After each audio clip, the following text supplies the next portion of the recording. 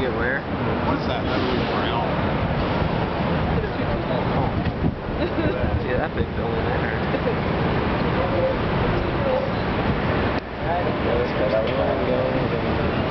What else? Is that Bryant Park? I think that's Bryant Park. Yeah, that's where I, No, that's Madison Square Park. Madison Square Park, whatever. It's cool. Yeah, Bryant Park. We already looked at. Good stuff on the other. That's on the side. Uh, Like I can see, uh, like this little blue air conditioning unit on top of the building. You can see the fan inside is spinning. oh, awesome. But then I